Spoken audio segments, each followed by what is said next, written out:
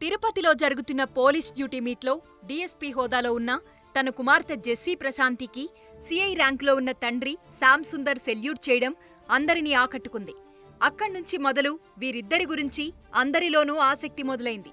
Ignite పేరిట తిరుపతిలో జరుగుతున్న పోలీస్ మీట్లో ఏపీ డీజీపీ గౌతమ్ సవాంగ్ ఈ తండ్రి కూతుళ్ళతో ప్రత్యేకంగా మాట్లాడారు.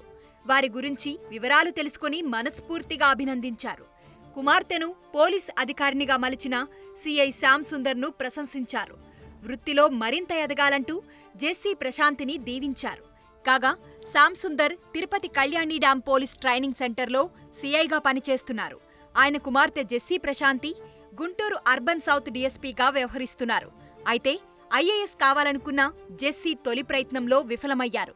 ఆ తర్వాత గ్రూప్స్ రాసి డీఎస్పీగా విధుల్లో చేరారు.